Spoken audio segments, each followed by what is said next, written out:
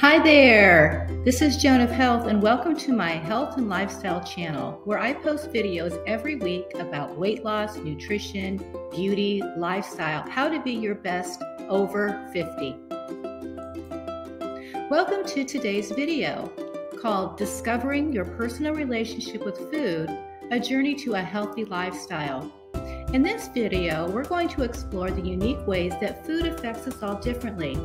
We're going to dive into the personal relationships that people have with food and how it can affect our weight and overall health. So, whether you're 50, 60, 70, or you're looking to lose weight, or you simply want to lead a healthier lifestyle, this video is for you. So, let's embark on this journey together and discover how we can develop a positive relationship with food. Well, please make sure to subscribe to my channel and make any comments. And if you like it, I would appreciate it if you would share it with somebody. Thank you.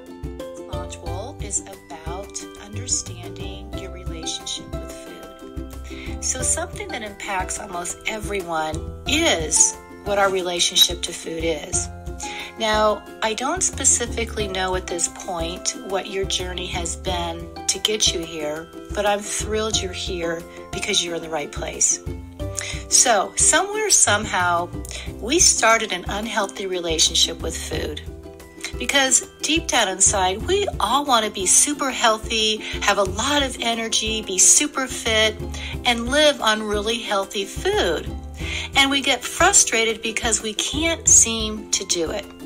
So it's like we want to love vegetables and fruits and grains, but our mind keeps taking us to donuts and pizza and ice cream. And it's very hard to understand it, but this is your wiring, your brain chemistry. And no one has ever really taught us this. And I know this sounds crazy, but guess what? Your mind really wants you to binge on sugar. Yes, it does. It really does. If you went back 500 years ago and you're walking in the forest and you came across apples or mangoes or honey or berries, your mind didn't go, oh, that's a lot of fructose in there, just take a small amount. Your mind said, oh my God, there's apples and mangoes and berries, and there's honey and there's fruit. And you know what? Food is scarce. And I don't get this food very often. So I'm going to binge on it till it's all gone, and then I'm going to lay down and get fat, like a bear does in hibernation, because food is scarce. So this is survival and evolutionary. And that was very useful hundreds and hundreds of years ago, but it's not useful today at all because there's food everywhere. There's way too much food. People are way too fat, right?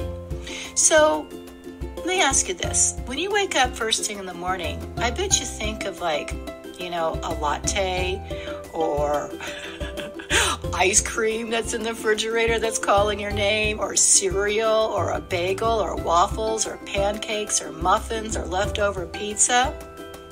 Most people don't wake up and want salad and broccoli, right?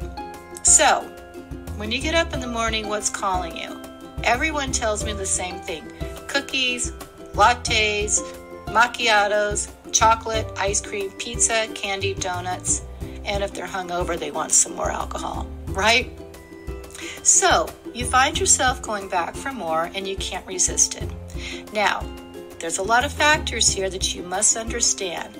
First of all, as I said earlier, we're wired for sugar and to be fat because food is scarce.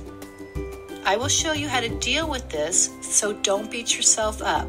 You're wired to want sugar and be scared that there's not enough food. Instead of trying to fight it, you have to understand it and then work around it so unconsciously you won't be terrified of hunger. Once again, why is this? Well, if you went back just a few hundred years ago, you died more of hunger than anything else.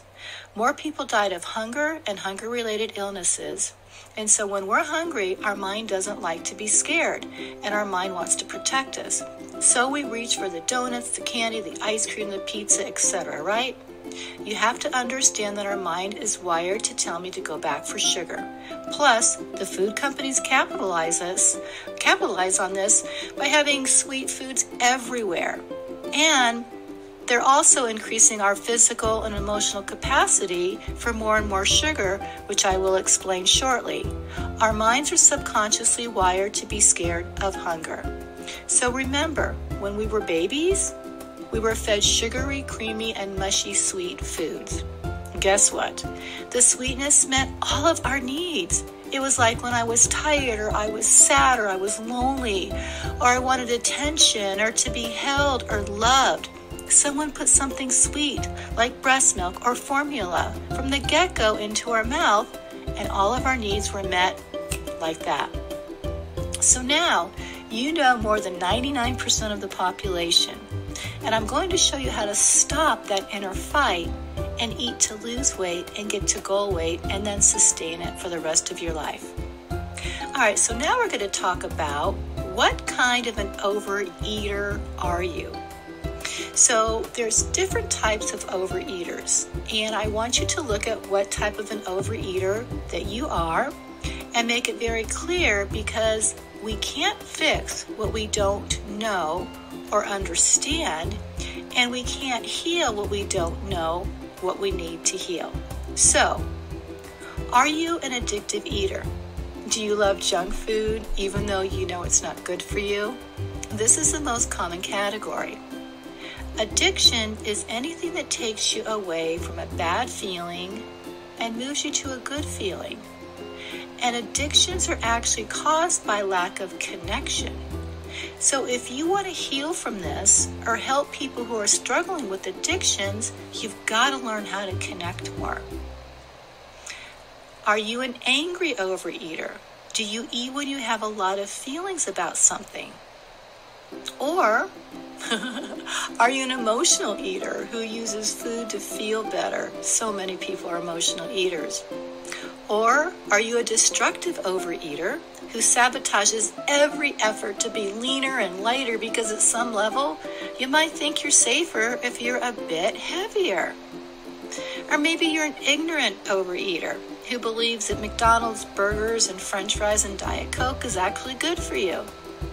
This is very common because we're fed so many lies by food companies, which is the biggest culprit with hidden ingredients in foods and combined with creative marketing campaigns that actually make you think that eating fast food and junk foods are good for you when we deep down inside know that it's not. One more here. Are you a habitual eater who's been trained to eat everything on your plate, or you can't have dessert, or you can't go out to play, or it's rude, or maybe you see visions of all the poor people dying of starvation in your head. Hmm. You see, these six categories of overeating are not something that we're born with. People are not born to be addictive eaters or destructive eaters. They've learned it. And since all of these behaviors are learned, you can unlearn them again with the tools and techniques in this program.